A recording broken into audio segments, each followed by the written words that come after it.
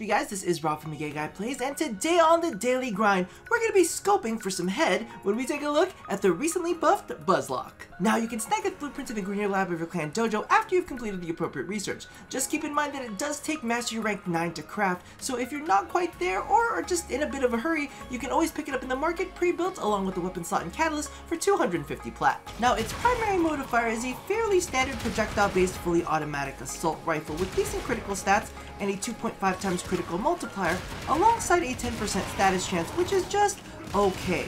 I think my two big issues with this is it does have a 3 second reload speed and its flight speed on the projectiles are not necessarily the greatest. Now, while your primary mode of fire can be a bit of a bore, your secondary actually fires off a homing beacon that latches onto a target for about 20 seconds.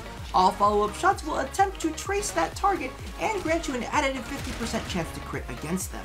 Now, one of the big quality of life changes they made to this weapon is that it no longer attaches to terrain, but will only attach onto your target. So that way, no weird shots running all over the place. Now, as for the build, it's all pretty standard. We toss in a point strike and a vital sense to further drive home the critical narrative. Now I believe that with the homing beacon attached, we actually have an 87.5% chance to crit against an enemy with a 5.5 times crit multiplier, and that is actually pretty intense. We've also tossed in a high voltage and a malignant force just to see if we can shred off a little bit of armor. Now the infected clip is in a little bit of a weird place, and I only really use that for this video, mainly because of the fact that I actually have a Riven for this weapon, um, which is pretty insane with a lot of multi-shot, flight speed, and base damage. A little bit of negative damage to Infested, but I think I can be okay with that one. Now, as for its top end damage, as you can see right here, we just go ahead and pin him with a little bit of a headshot, and we literally melt him in no time flat.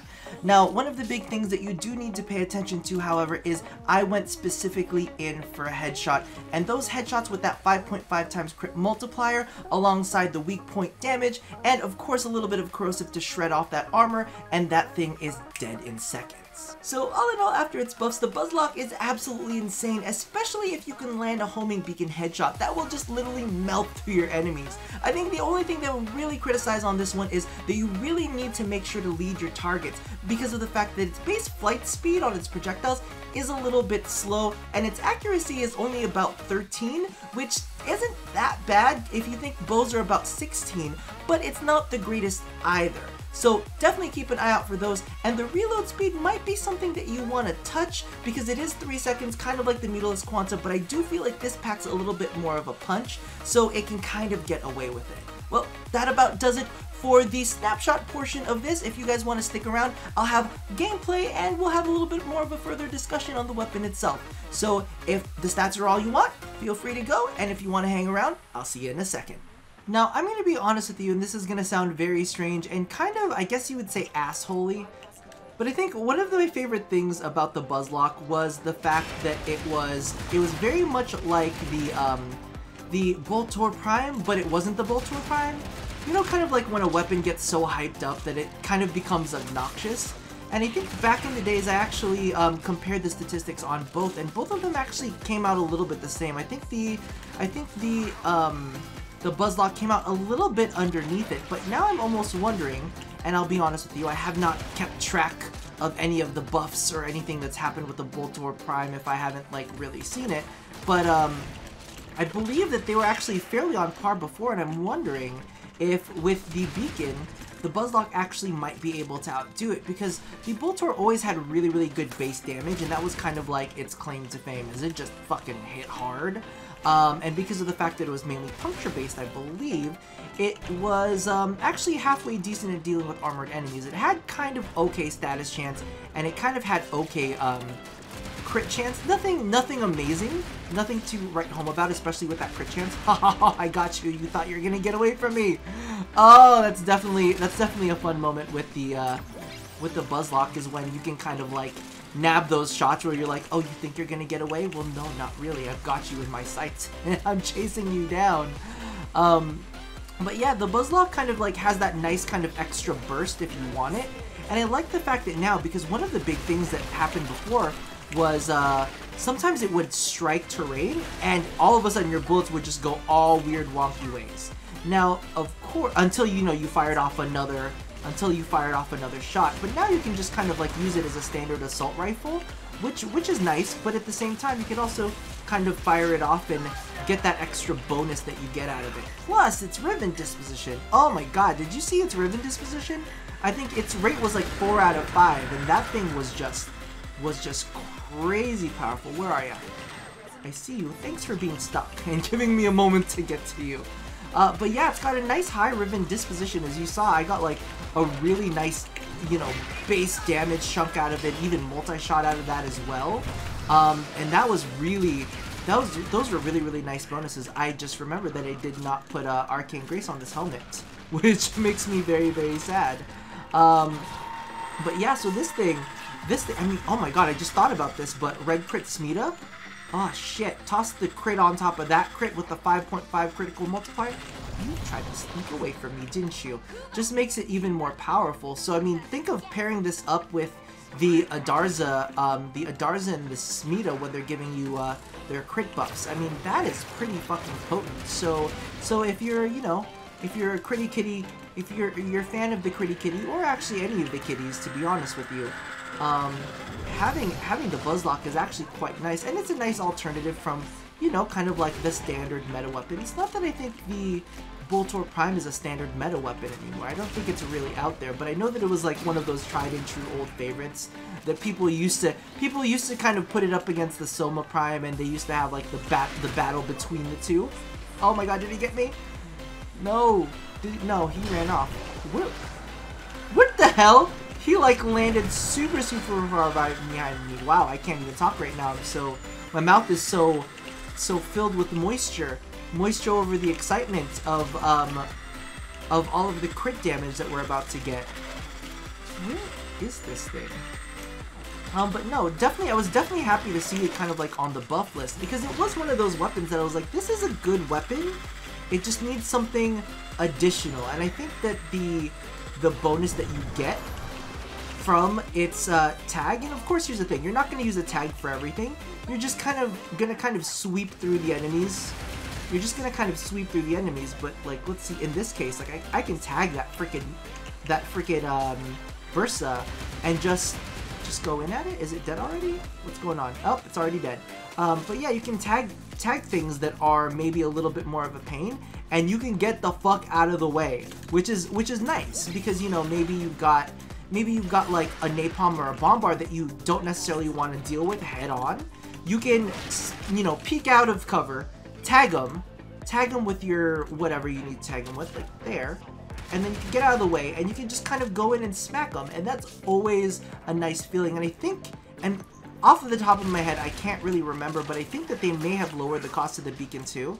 If not, you know, it's still a good cost for the beacon, one bullet as a as a Pios, as opposed to the Mutalist Quanta, who's got um who needs five ammo in order to make it, you know, in order to give it the extra buff. Not, you know, not hating on the Mutalist Quanta or anything.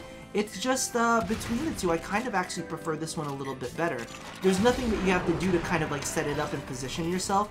All, all you really have to do is just hit a target, and just as long as they're not super, super uber blocked by, um, super, super uber blocked by terrain, it's actually not half bad. This little shit right here. That little can I just... See? See? So wherever you go, I got you. Got you, you piece of shit.